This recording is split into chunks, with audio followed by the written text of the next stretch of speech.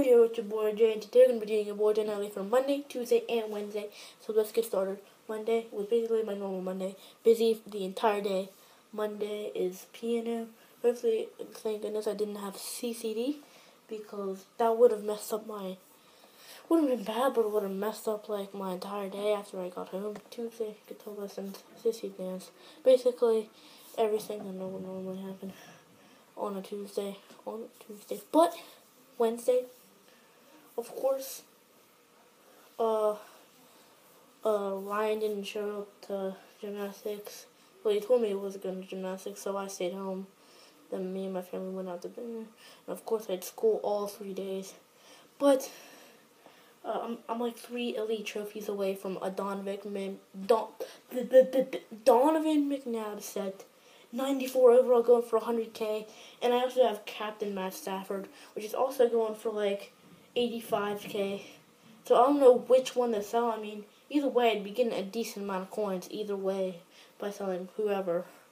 But I want to keep Donovan McNabb, but I also want to sell them because I'll get like 100 coins.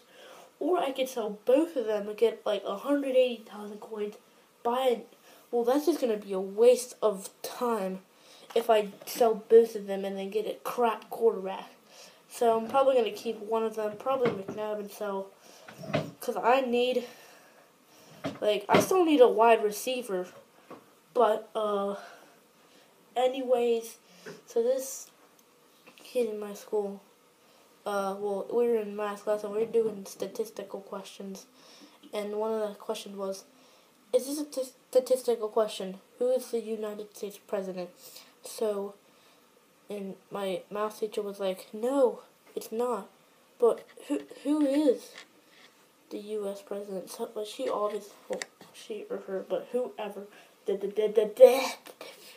I don't know. But, anyways, my math teacher asked this kid in my class, and uh, my math teacher was like, who is the U.S. president? And this kid is like, still deciding. Just because it's an election year doesn't mean we don't have a president. If we didn't have a president, we wouldn't even be in school. I probably wouldn't even have an iPad to record with. And then, and then my math teacher was like, "Yeah, we still have a U.S. president. Who is it?" And then this kid is like, "I don't know." Basically, this isn't to insult anybody who doesn't know who the president is, but if you don't, you're probably either one, uh, just basically like, just I don't, I don't know, I don't. Know. Okay, I'm back. Anyway, you're either like one drunk, two, no, two old, three on drugs, or four mentally ill. I don't think he's any of this. So I, I, I'm actually kind of feel bad for this kid in my class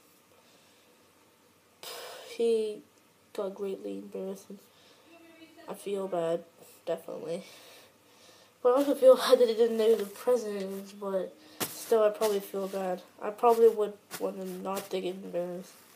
In front of the entire math class and not know who the president is. well, anyways, hope you guys all enjoyed. How much time is it? Thank you, all three minutes. Thank y'all for watching. Like, comment, subscribe, and of course, see y'all. Hope you guys enjoyed.